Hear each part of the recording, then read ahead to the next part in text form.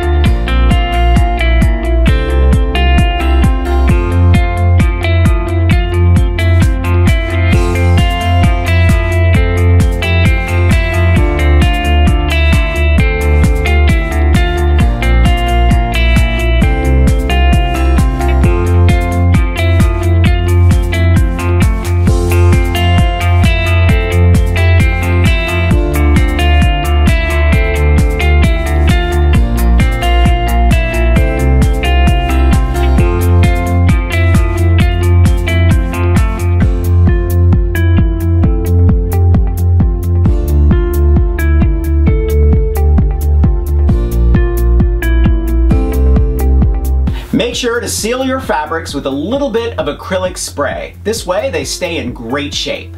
Thumbs up if you like this video, leave me a comment and I will get back to you. Subscribe to my channel if you haven't already.